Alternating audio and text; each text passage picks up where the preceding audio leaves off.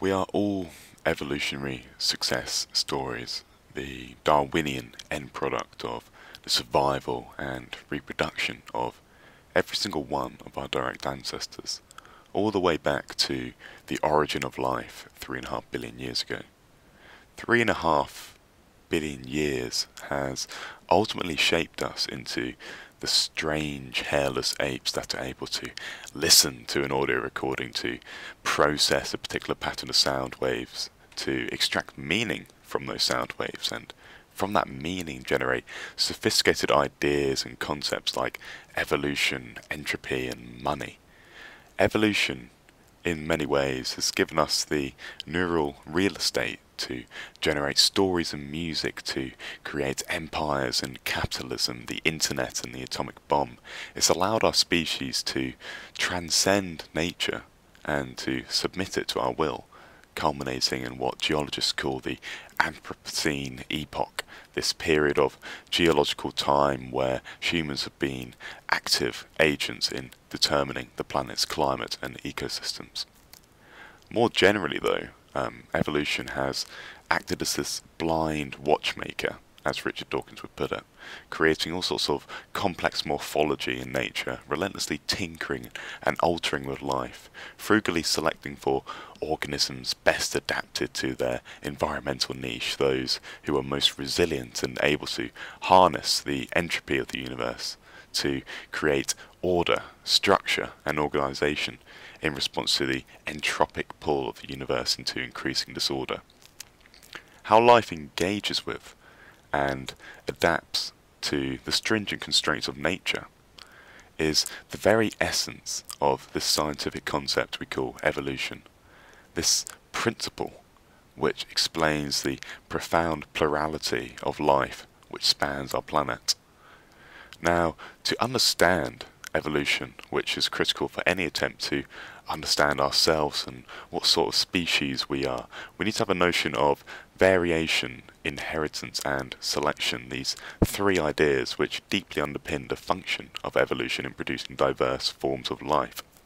Now, variation, quite simply, is the variety or the range of ways a particular trait can manifest in a population. Something like extroversion, for example will vary in a population, typically in a bell curve like fashion, with most people clustering around the average and fewer people as you venture to the extremes of extroversion, as you uh, find the people who are highly extroverted or highly introverted. They're going to be far fewer, fewer of those sorts of people compared to the average or the mean when we think about inheritance, now this idea is, is, simply the idea that certain traits can be passed on to the next generation, that the traits in question have a degree of heredity and therefore can be transferred to offspring. If you break your leg, for example, at some point during your lifetime, you, you shouldn't have to worry about your future child emerging from the womb with mangled lower limbs, because fortunately a broken leg isn't a heritable trait, whereas something like um, hair colour or height, however, is considered to be considerably heritable and therefore can be passed on. Now, this variation and this inheritance creates the foundation for selection, the which you can think of as the constraints of the environment to exert an influence on the shaping of life. Now, selection, it comes into play when we consider which traits in the population are most conducive for survival and reproduction. Traits which improve evolutionary fitness, which enhance survival and reproduction, are the ones which are most likely to be passed on to the next generation and selection in many ways it concerns the relationship between a trait and its downstream effects on evolutionary fitness. A trait which is well adapted to an environmental niche is one which optimizes or in sometimes satisfies evolutionary fitness within a given context and hence that context or that environment is said to select for organisms with that particular trait. So, okay, now that I've got that dense evolutionary biology out the way, let's move on to the more more personal stuff, the more the topics of evolution which appeal to us, who we are. So let's think about this. What what was the environmental niche of human beings? What selected pressures dictated our evolution into the, the beings we are today? And To consider such a question, it's important to point out that over millions of years of mammalian and hominid evolution, we have faced recurrent adaptive problems. Our ancestors, they engage with a, a, hostile environment with the constant risk of predation, disease and parasites. Survival necessitated the ability to hunt and forage for fruits and vegetables and fish and meat. And we can expect to see various adaptations related to all these activities as evolution selected for individuals best able to meet those specific environmental demands. Now, elements of this adaptation is most obvious in our universal food preferences. We have this, we've evolved really this insatiable taste for sugars and fats since they provide a rich source of energy, which would have been, you know, highly advantageous within a, a food environment of great caloric scarcity which defined our ancestral environment. Now, this innate preference is benevolently monetized by the modern food industry who carefully engineer our food with hidden sugars in order to make it as palatable as possible for our hunter-gatherer taste buds. Taste buds which simply have not had enough time to adapt from our ancestral environment of scarcity to the caloric abundance we can thank McDonald's and Pizza Hut for today. As well as this, the domain of natural selection can enable us to understand how the constant predatory pressure from snakes may have contributed to the evolution of our visual system. The uh, predatory pressure from snakes having the effect of selecting for individuals with more acute vision who can spot and recognize snakes, improving their survival chances and transferring these skills to their offspring. And given that snakes were often a recurrent threat throughout our ancestral past, it's conceivable that we may have evolved adaptations to manage this unique kind of threat which would have been pervasive throughout our evolutionary history. And it does certainly seem as though we are biologically predisposed to be vigilant of snake-like objects, with snake phobia being one of the most prevalent phobias amongst the general population, much more prevalent than fears of guns or cars, which arguably pose a significantly greater threat in our modern environment though of course these inventions are far too recent for us to have developed unique adaptations. Likewise, the proliferation of easy calories from Big Macs and McFlurries are too recent a change for modern humans to have developed an adaptive response. Our metabolically efficient hunter-gatherer bodies are simply ill-suited to an environment of caloric abundance, and really this ties into the concept of what we call evolutionary mismatch theory, this idea that traits which were adaptive in one context can become very maladaptive when placed in a different context. Now, in the same way that our ancestors had to manage adaptive problems related to its natural environment, archaic humans also faced recurrent problems in the social domain, interacting with other hominids created all sorts of issues with regards to how to form coalitions, negotiate exchanges, and divide up resources, and having to adapt to these novel social problems. It perhaps created our moralistic impulses for concepts like equity and fairness and a desire to punish people we deem cheaters or free riders. This evolved moral psychology likely enabled us to cooperate more effectively as groups and to form a cohesive social tribe. You know, when we think about it, this visceral contempt many of us have towards liars, cheats, and deceivers, which many of us intuitively have, is perhaps a major component of this evolved social map we use to navigate the social domain, this map which steers us away from those we perceive as exploitative and towards those we deem as attractive or potentially cooperative. Our ancestors who were most attuned to social cues, cues which could indicate other people's intentions and goals, were best equipped to navigate the ancestral social world in an effective manner. And it's pretty evident to me, at least, that the social world must have had a profound evolutionary impact on the shaping of our species. And we can see elements of this in our physical design, the white sclera of our eyes, which lies around our pupils, is clearly designed to advertise the direction of our attention or gaze to those around us. It's almost instinctual, this tendency we have to follow someone's gaze if their eye suddenly darts elsewhere in the, in the, in the room.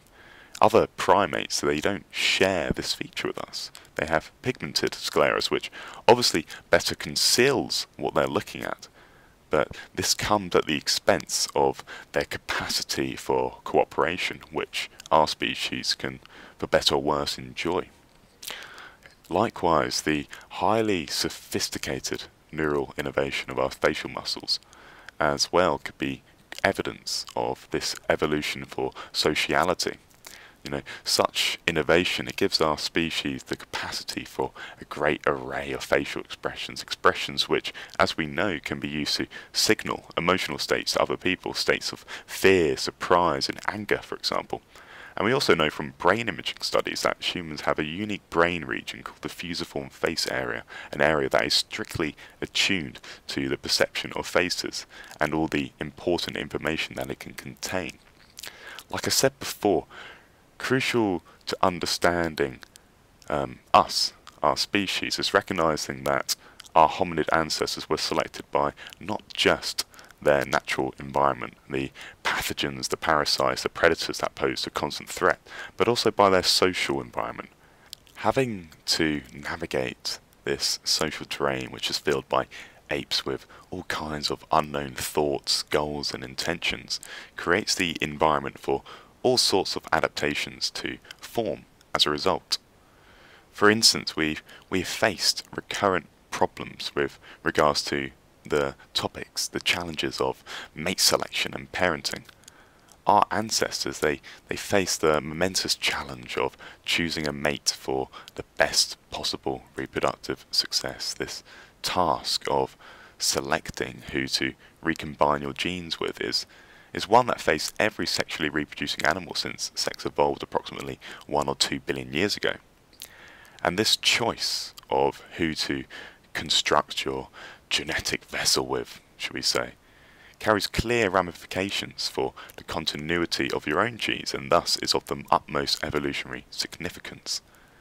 This mateship challenge, this mateship game, it, it required participants to, you know, to engage in all sorts of behaviours to compete with members of the same sex for sexual access, to signal their best qualities to the rest of the tribe, to engage in all sorts of mate acquisition and retention behaviours. And when you think about it, we are the direct descendants of apes who managed to play this mateship game successfully, generation after generation. Thousands, really, of iterated human mateships has ultimately resulted in us, the apes who inhabit the world today.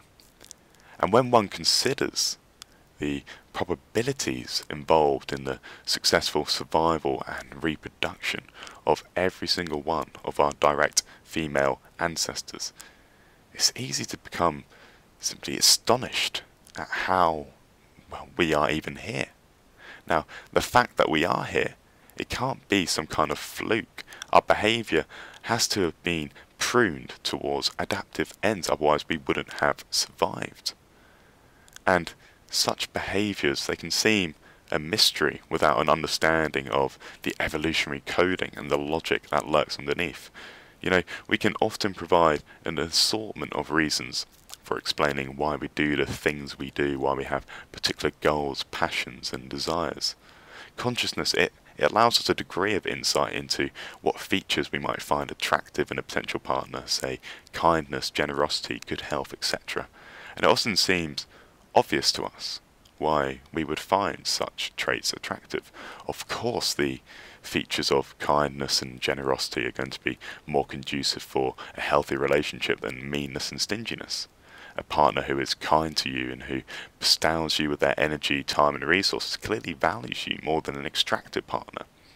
Now, whilst these preferences may seem obvious, it can be insightful to reflect on the evolutionary underpinnings, since it helps us to understand where these preferences emerge from. It helps address the why question underlying such phenomena. Now, clearly, most of us, we want to cultivate relationships that are ultimately beneficial, useful, and positive for some, not relationships that bring out the worst in us, that drain us of our cognitive energy and turn us hollow and bitter. As social mammals, you can argue that we have this we have this drive towards forming positive sum relationships, given their obvious benefit. Our ancestors who valued traits such as kindness and reciprocity in social relationships were better equipped to form stronger bonds and more effective social coalitions than those that didn't. And these stronger bonds and social supports likely provided a litany of reproductive and survival payoffs. Hence, it paid off, evolutionary speaking, for humans to be attentive to such cues of prosociality, such as kindness and reciprocity. Likewise, stronger romantic bonds, which are built upon kindness, reciprocity, and trust, they provide the bedrock of a healthy environment for raising offspring. Now, guiding a human being through the many developmental stages of life is a momentously costly endeavour, which demands a substantial amount of parental care, obviously. Now, it goes without saying that the more pro-social and altruistic relationships are probably better disposed to meeting these harsh energy demands of child rearing, which is perhaps why evolution has selected for individuals who were most attentive to cues of a pro-social partner, cues like kindness, reciprocity, etc., which could provide some insight into why exactly we find these traits, you know, so attractive. Now, knowing what qualities to look for when forming social relationships, whether, whether sexual or platonic, it can better equip you to cultivate those connections that grow rather than hinder you. Let's now like zone in on our sexual behaviors, this vast realm of adaptations which enabled the reproduction of our ancestors. Now, I want us to think about this question, these questions of what are those adaptations? What role has sex and mating played in the shaping of our cognition, desires, and beliefs? What are the, the components of human attractiveness? Now, all these questions, they, they probe into this deeply fascinating aspect of our human nature, why we are the way we are, what sort of species are we? And now I understand that such probing can seem unsettling to some as a scientific enterprise. Now, shining a mirror on ourselves, it reveals everything, warts and all. And human nature, this innate structure, it, it can it provides us really with a wide range of proclivities. Proclivities towards the morally good and the morally repugnant. And really, in order to understand ourselves, it's important not to impair our judgment with any preconceived notions of humanity.